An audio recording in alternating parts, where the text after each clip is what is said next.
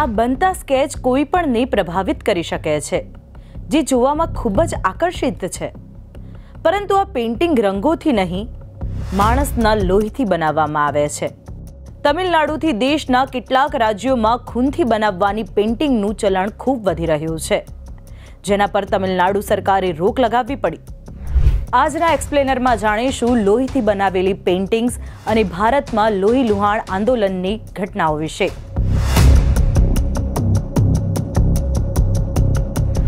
તમિલનાડુનો રહેવાસી ગણેશન પોતાની ગર્લફ્રેન્ડને તેના બર્થડે પર કંઈક ખાસ ગિફ્ટ આપવા માંગતો હતો. ત્યારે જ તેના મિત્રએ તેને બ્લડ આર્ટ વિશે જણાવ્યું. આ આઈડિયા ગણેશનને ઘણો યુનિક લાગ્યો. તે ચેન્નઈમાં બનેલા એક સ્ટુડિયોમાં પહોંચ્યો અને ત્યાં તેને એ ફોર સાઇઝની પેઇન્ટિંગ બનાવવા માટે પાંચ મિલીલીટર બ્લડ આપ્યું. આ જ પ્રકારે તમિલનાડુના હેલ્થ મિનિસ્ટર એમ સુબ્રમણ્યમ એક સ્ટુડિયોમાં પહોંચ્યા તો આ બધું જોઈને તે ચોંકી ગયા અને તે જોઈને તેમણે કહ્યું બ્લડ આર્ટ દંડનીય છે. બ્લડ ડોનેશન એક પવિત્ર કાર્ય છે. આવા તુચ્છ ઉદ્દેશ માટે લોહી આપવું એ કોઈ રીતે ચલાવી નહીં લેવાય. પ્રેમ અને સ્નેહ દર્શાવવા માટે અન્ય ઘણા માધ્યમો છે. આ કંઈ યોગ્ય નથી. જે બાદ મંત્રી સુબ્રમણ્યમે આદેશ આપ્યા કે આમ કરનાર લોકો સામે કાર્યવાહી કરો. આમ જોઈએ તો બ્લડ લેવાની મંજૂરી માત્ર લેબ ટેકનિશિયન, ફ્લેબોટોમિસ્ટ, નર્સ અથવા ફિઝિશિયન પાસે જ છે. સ્ટુડિયોમાં આ પ્રકારે બ્લડ મેળવવાથી હેપેટાઇટિસ બી, હેપેટાઇટિસ સી અને એચઆઈવી જેવી ગંભીર બીમારીઓનો ખતરો વધી શકે છે. પછી બ્લડ ન જામી જાય તે માટે એન્ટીકોગ્યુલેન્ટ અને કેટલાક કેમિકલ મિલાવીને આર્ટિસ્ટને પેઇન્ટિંગ માટે બ્લડ અપાય છે. પરંતુ સવાલ હવે એ આવે છે કે લોહીથી બનેલી પેઇન્ટિંગ્સ જ કેમ? ત્યારે જવાબ એવો મળે છે કે ખૂનથી બનેલી પેઇન્ટિંગ્સ લોકોનું ધ્યાન ખેંચવા માટેનું સૌથી શ્રેષ્ઠ માધ્યમ છે. ભારતમાં બ્લડને વફાદારીનું પ્રતીક માનવામાં આવે છે.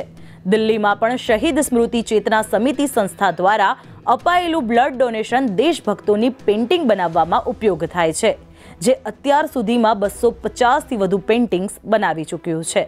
તો દેશમાં એવા કેટલાક આંદોલનો પણ થયા કે જેમાં લોહીનો ઉપયોગ થયો હોય? આવો તેના વિશે જાણીએ.